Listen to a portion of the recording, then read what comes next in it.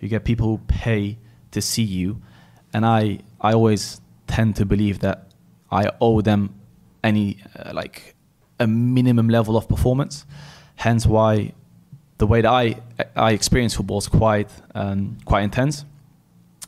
Um, because if I don't play a good game, or if you're if you're if you if I'm not able to give back what I initially wanted to give back, it really puts me in a bad mood. Obviously, and I think that's good because it keeps me going. But more so, I think it's good because it will always keep me motivated to give back to the people that deserve. I think a good good performance.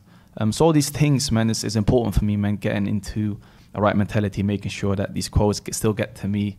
Um, I tend to read a lot of uh, hadith before the game as well because there's so many beautiful stories, so many beautiful narrations that um, about our pious predecessor that can get you going, that make sure that you're in the right mindset. And the deen is so big.